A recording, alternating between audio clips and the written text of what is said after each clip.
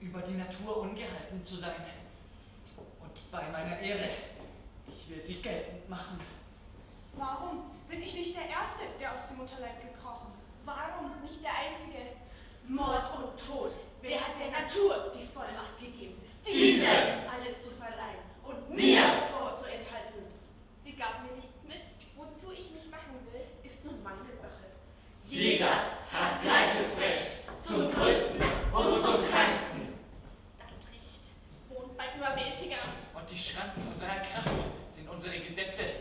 Wir wissen, Ja, natürlich. Es vermag nicht mehr als Spatzen von Kirschbäumen zu vertreiben.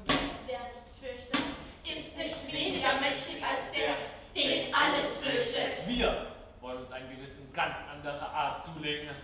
Geschwisterliebe. das heißt verdolmetscht. aus demselben Ofen geschossen worden, aus dem du geschossen bist. Also, Sei er dir heilig. merkt doch einmal diese verzwickte Konsequenz von Nachbarschaft der Leiber auf Harmonie der Geister, von eben derselben Heimat zu eben derselben Empfindung, von einerlei Kost zu einerlei Neigung. Aber Er ist dein Vater. Er hat dir das Leben gegeben. Du bist sein Fleisch, sein Blut. also Sei er heilig. wiederum eine schlaue Konsequenz. Ich frage, warum hat er mich gemacht? Doch wohl nicht gar aus Liebe zu mir, der erst noch ein Ich werden sollte? Oder hat er mich gedacht, der mich machte? Oder hat er mich gewünscht, der mich machte? Wusste er, was ich werden würde?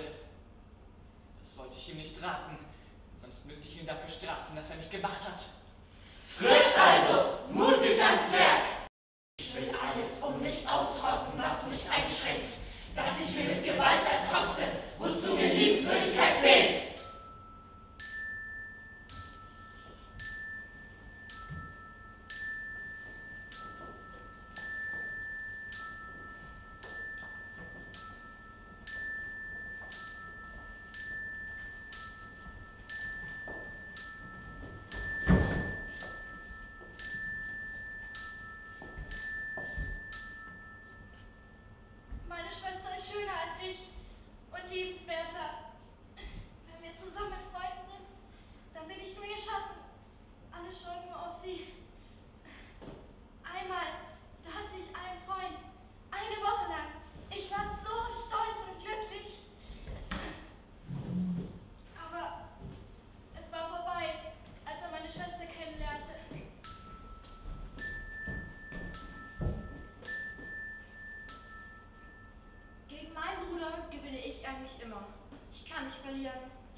Schlechter Verlierer.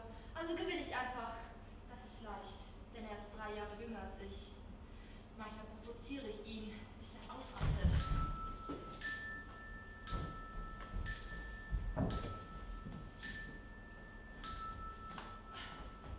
Ich, ich wollte immer so sein wie meine Schwester, der Liebling meiner Eltern. Wenn ihr Klavierspiel so gelobt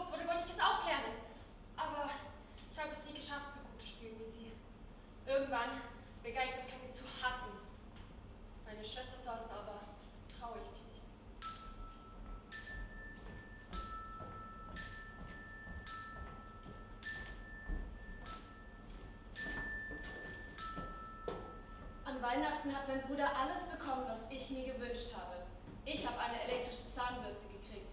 In der Nacht konnte ich vor lauter Wut und Eifersucht nicht schlafen und habe am nächsten Morgen sein ferngesteuertes Auto zerstört.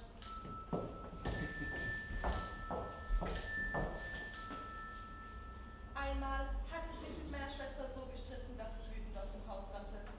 Als ich draußen war, war es arschkalt und es schneite und ich hatte keinen Schlüssel dabei. Ich wartete, bis sie mir wieder aufmachte, aber das tat sie nicht. Ich hätte sie anrufen können, aber ich hielt durch, eine ganze Stunde. Völlig durchgefroren rief ich sie dann an. Sie machte mir erst auf, als ich mich bei ihr entschuldigte. Sie diktierte mir die Worte.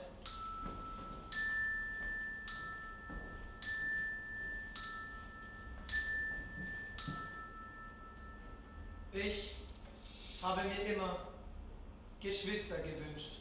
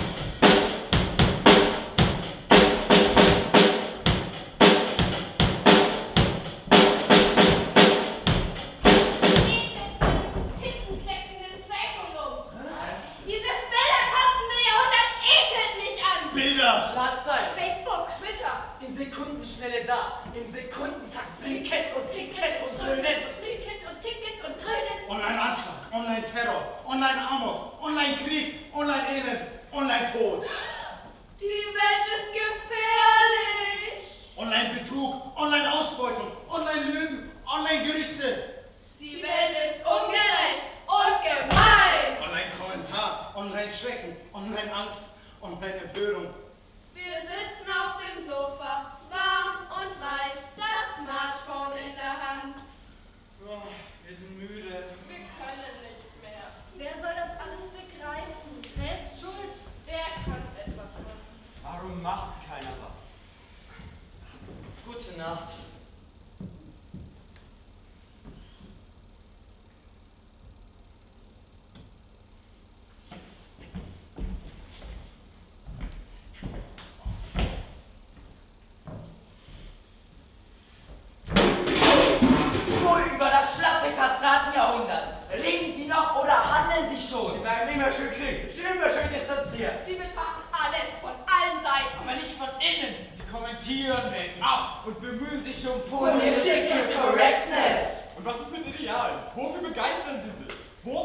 Sie sich ein, ohne voll zu rechnen, was es bringen oder schaden kann. Leidenschaft!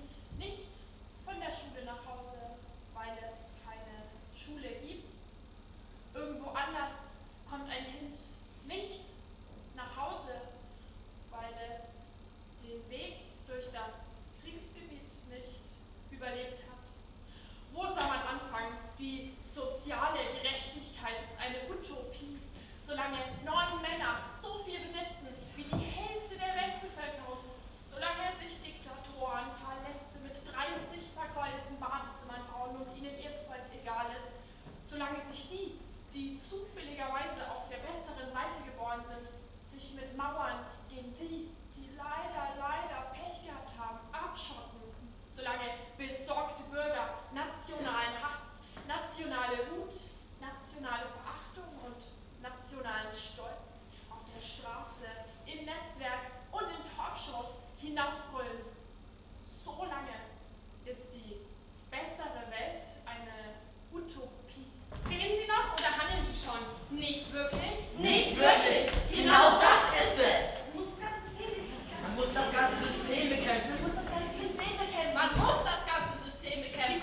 die Manager, die Globalisierer, die Politiker, die Kriegsgewinner, die Religionsfanatiker. Unser Land muss ein anderes werden! Nicht so eine lila, blass, blassblaue, verhütter Demokratie!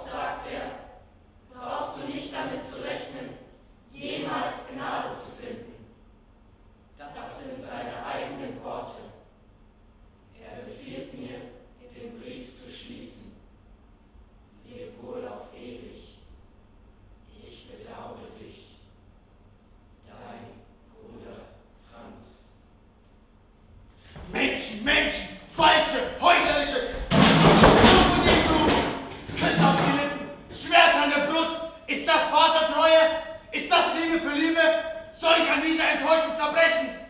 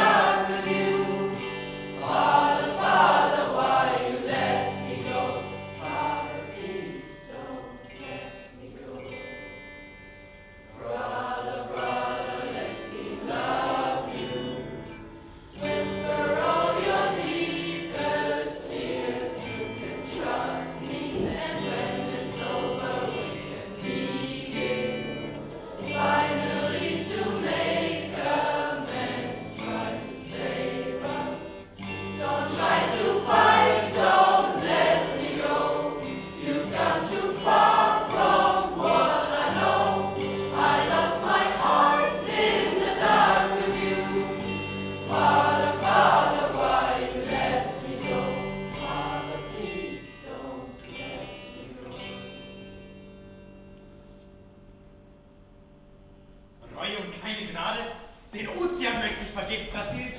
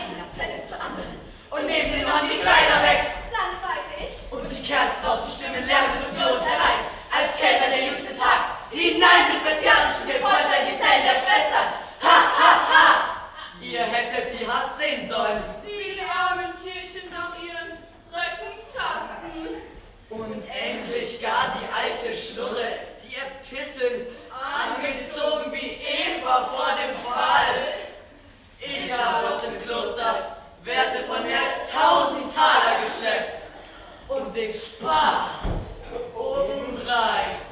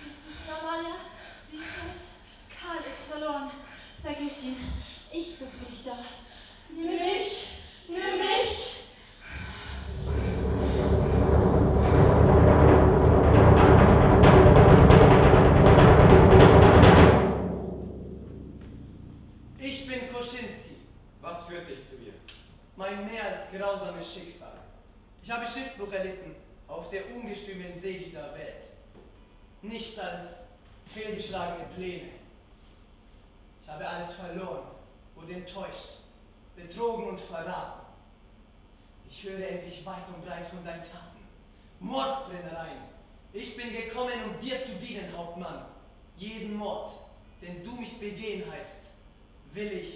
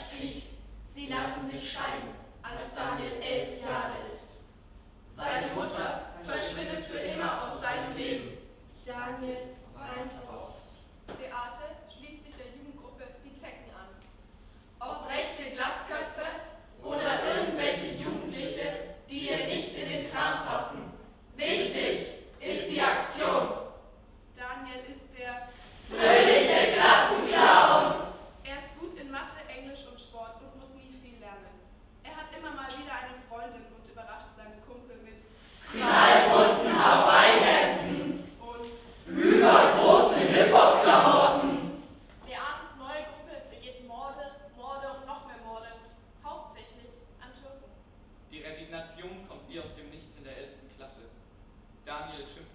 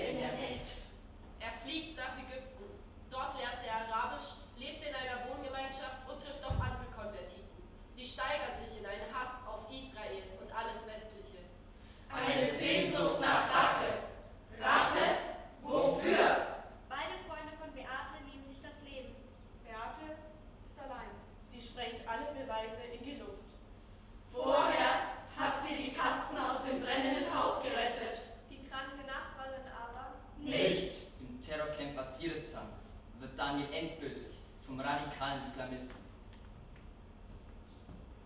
Die Deutschen, die kriegen einen auf die Fresse.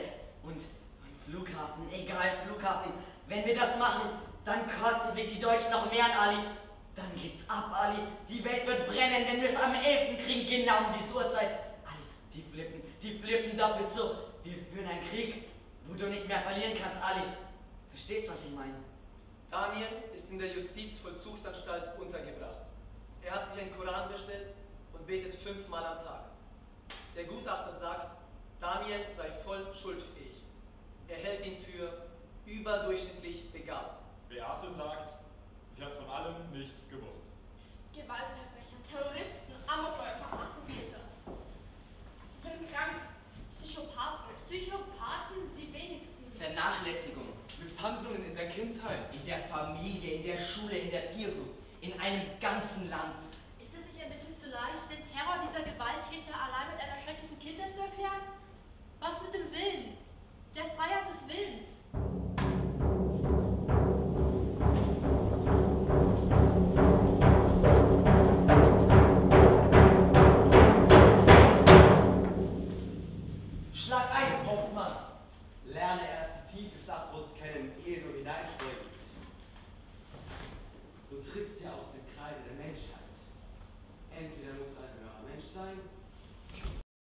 Oder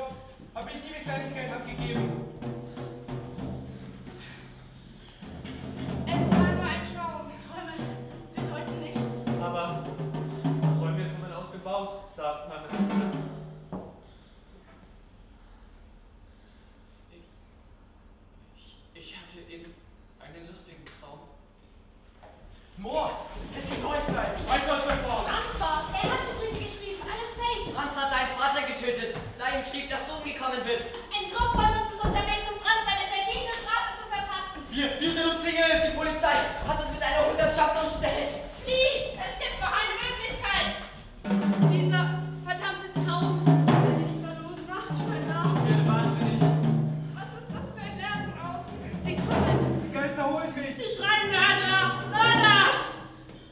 Da stehe ich nun am Rand eines entsetzlichen Lebens. Zwei Menschen wie ich könnten den ganzen Bau der sittlichen Welt zugrunde richten.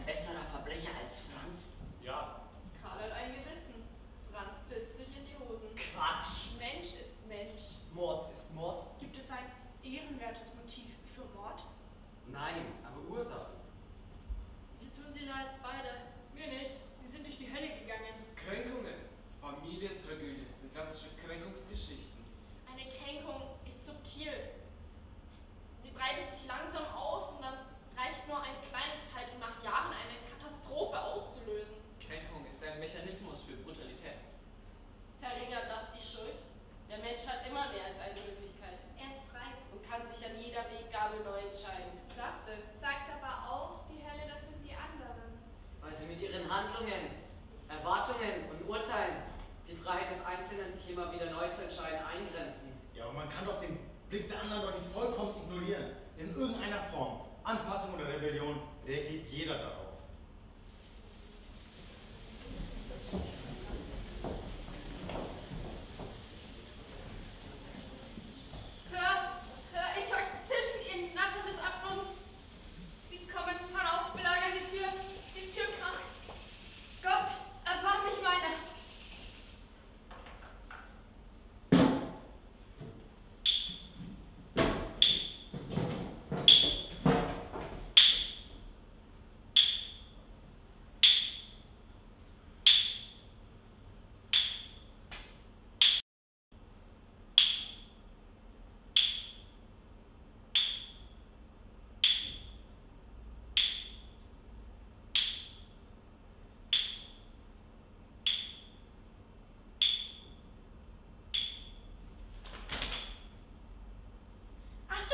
nem manda em.